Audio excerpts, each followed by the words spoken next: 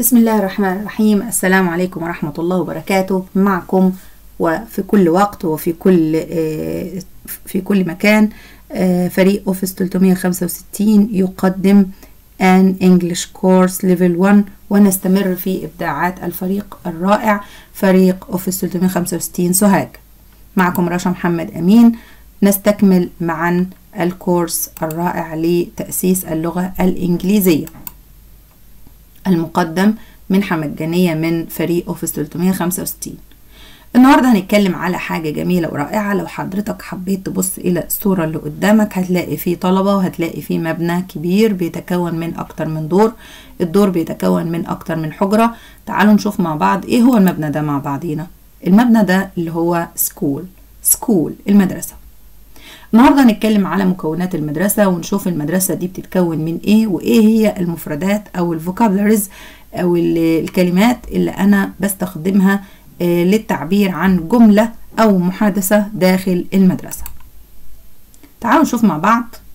لو أنا شفت الأولاد دول موجودين في مكان المكان ده بيعتبر عبارة عن إيه؟ المكان ده عبارة عن الفصل المدرسي اللي هو كلاس روم كلاس روم كلاس روم كلاس روم فصل مدرسي. مكتبة المكتبة الرائعة.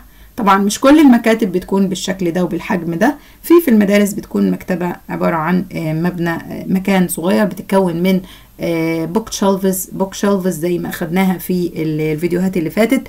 فدي عبارة عن library library library والشخص اللي هو بيشتغل جوه المكتبة اللي هو أمين المكتبة اسمه librarian librarian librarian. طيب. طب الممر اللي هو الأولاد بتبقى بتمشي فيه اللي هو بيكون بين الفصول اسمه إيه؟ اسمه corridor corridor corridor ممر. طيب المعمل اسمه lab lab lab طيب أهم حاجة عندنا ودي بنستخدمها معانا في الفريق ال office وبنستخدمها مع كل المدارس غرفة التطوير التكنولوجي اللي هي technology development room technology development room دي مصطلح مهم جدا بالنسبة لنا كأخصائيين أو كمدربين للتطوير التكنولوجي. technology development room ودي بيكون موجود فيها حواسب زي ما حضراتكم شايفين وبيكون فيها طلبة وبيكون فيها أخصائي تطوير. طيب. تعالوا نشوف مع بعض مين هي أو مين هم الأشخاص المعنيين اللي موجودين في المدرسة. لو بصيت للأكبر قاما آه اللي هو headmaster اللي هو المدير. headmaster headmaster headmaster والمعلمة اسمها teacher teacher teacher كمان أنا بتكلم على أخصائي التطوير التكنولوجي اللي هو technology development specialist technology development specialist specialist وناخد بالنا ش ش اللي هي سي اي اي المقطع ده c i a specialist وده طبعا خاص ب ال أي أعطال خاصة بأجهزة الكمبيوتر أو بإنه بينزل Windows أو بيصلح الكمبيوترات الموجودة داخل غرفة التطوير أو بيقوم بإعداد التدريبات لرفع مستوى كفاءة الطلاب داخل الفصل. طيب هنا دلوقتي بتكلم على حاجة تاني اللي هي subjects المواد الدراسية. طب المواد الدراسية عندي زي إيه؟ في الغالب إحنا بنستخدم على المواد الأساسية ودي هنذكرها مع بعض علشان نبقى نعرف نتعرف عليها.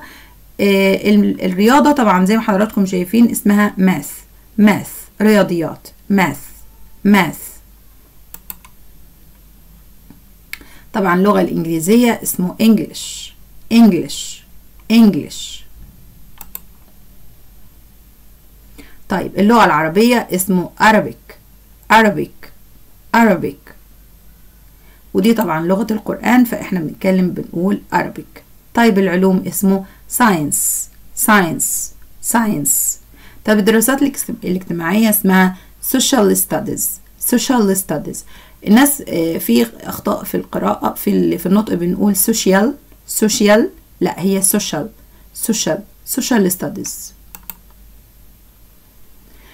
طب تعالوا نراجع كده مع بعض. Let's review now. تعالوا نراجع مع بعض الكلمات school school classroom classroom library library corridor corridor lab lab technology development room technology development room teacher teacher headmaster headmaster technology development specialist technology development specialist المواد الدراسية English Arabic Science Social Studies.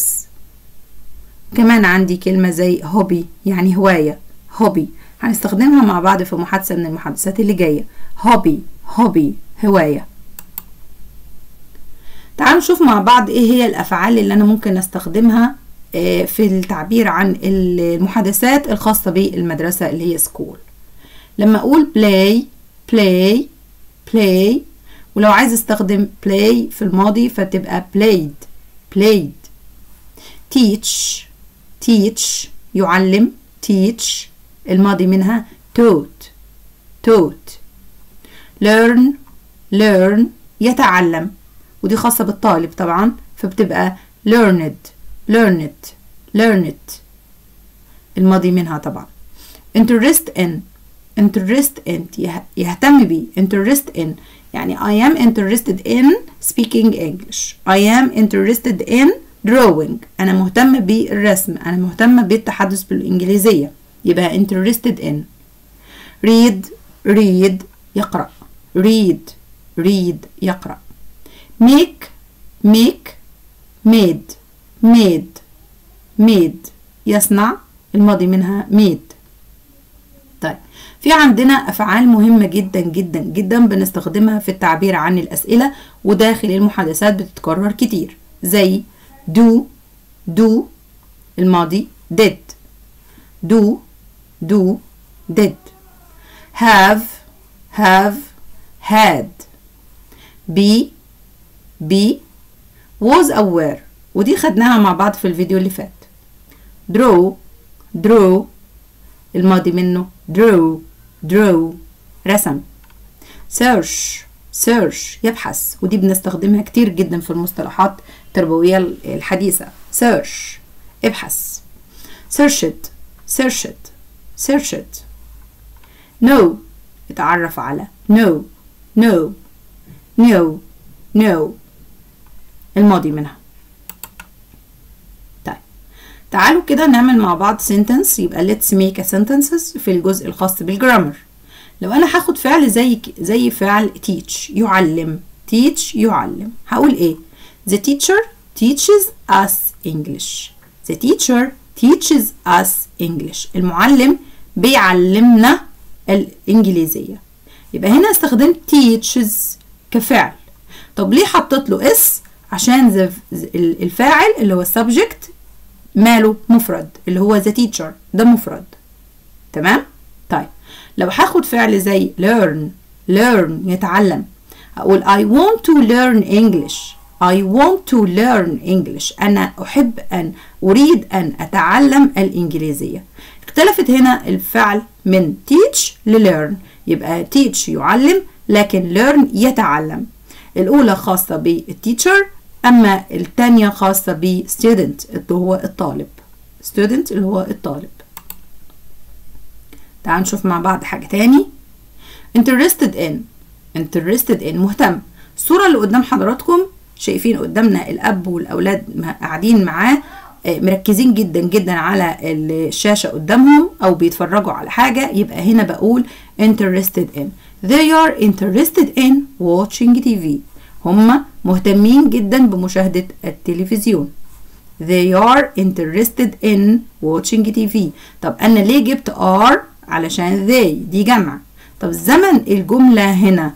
زمنها إيه زمنها مضارع. زمنها مضارع. Play play. عندي طلبة. الطلبة بيحبوا يلعبوا في الحديقة فبقول they are playing in the garden. They are playing in the garden. هما بيلعبوا في الحديقة. خدنا كلمة garden قبل كده في الفيديو بتاع the city.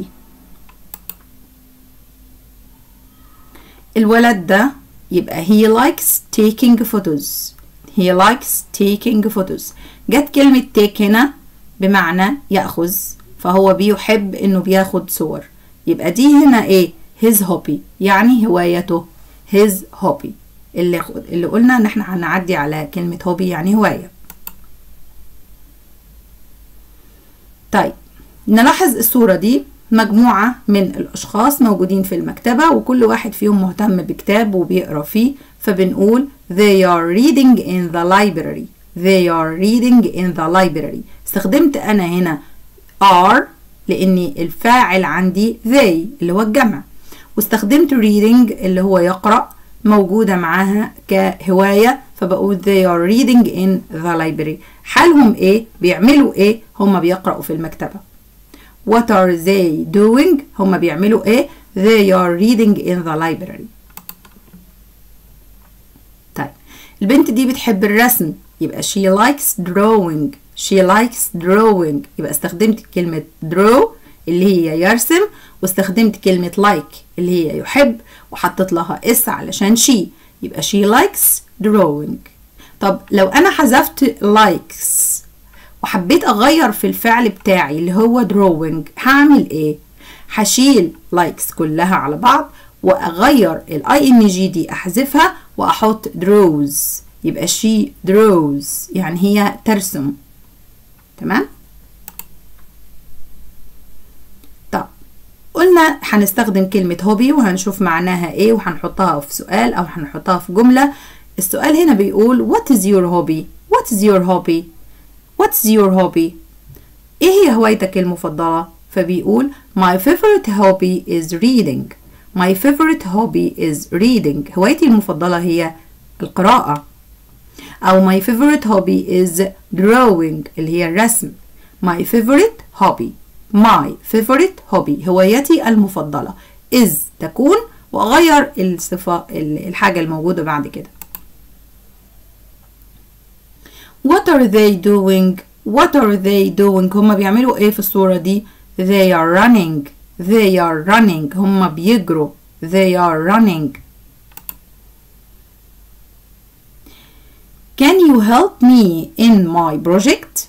Can you help me in my project? ممكن حضرتك أو ممكن أنت كزميل تساعدني في المشروع بتاعي؟